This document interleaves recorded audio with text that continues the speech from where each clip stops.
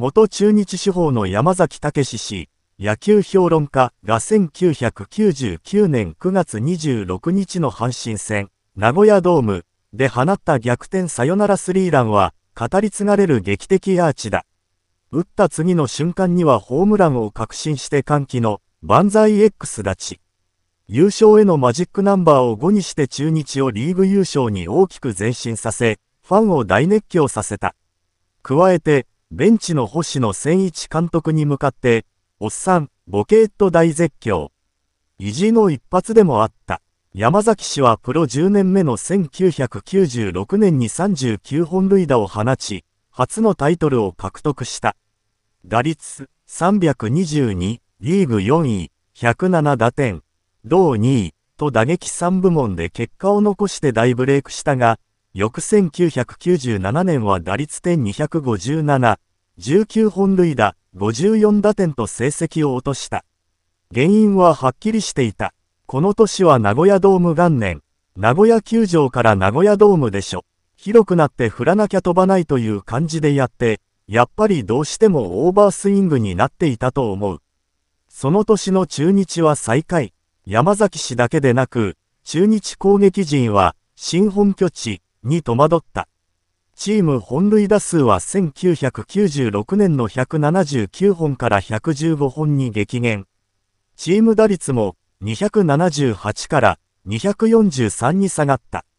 このままではいけない。星野監督は広い名古屋ドームでの野球を考え、中日、大砲安明内野手、矢野明宏保守と阪神、久慈照義内野手、関川光一外野手の2対2の交換トレードを成立させた。山崎氏もこう振り返る。あのでかい球場で野球をやるにあたって、俺が外野ではダメだろうとなった。そうなると一塁で大豊さんとポジションが被り、星野さんは俺を残した。大豊さんの方が、実績があったし、売りやすかったのかもしれないけどね。当然、奮起した。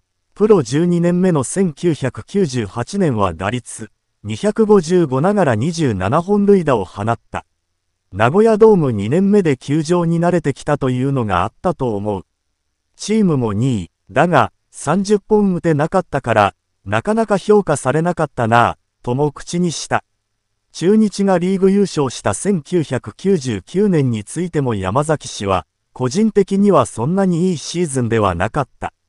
開幕11連勝して、ずっと優勝というのをみんなが口に出していた年だったけど、俺はシーズン中盤くらいから出たり、出なかったりしていたからねと話す。星野監督にはしょっちゅう、圧力をかけられたという。お前、日本シリーズに出さへんからなっていつも脅されていた。葉っぱだったんでしょうけど、俺にとってはイラつきもあった。1999年の山崎氏は28本塁打を放ったが、113試合の出場で規定打席に達していない。ほとんど一軍にいて、この使われ方はどうなんだよって感じだった。ずっともやもやもやもやしていたかな、あの年は。スタメンで、出ても途中で変えられたりしていたしね。名古屋ドームでのレギュラーシーズン最終戦、9、26阪神戦での劇的な逆転サヨナラスリーランは、そんな気持ちの中で飛び出したものだった。